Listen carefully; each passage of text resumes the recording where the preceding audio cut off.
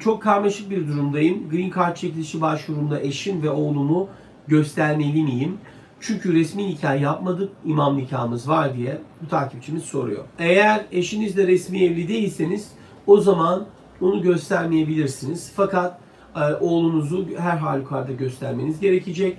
Çünkü e, sonuçta o sizin e, çocuğunuz ve e, başvuruda bu noktada sizin çocuğunuzun olup olmadığı sorulmaktadır. Şimdi normalde tabii evlilikler noktasında resmi evlilik, işte dini evlilik, bazı kamunun kabul edebileceği evlilik tarzı evlilikler de aslında geçerli evlilikler sayılıyor. Fakat şu anki sizin yaptığınız başvuruda resmi anlamda bir evliliğinizi göstereceğiniz bir kaydınız mümkün gözükmüyor. Ama size tavsiyem şu olur, e, çünkü zaten başvuru süreleri daha yeni başladı, e, bütün bu ay açık olacak.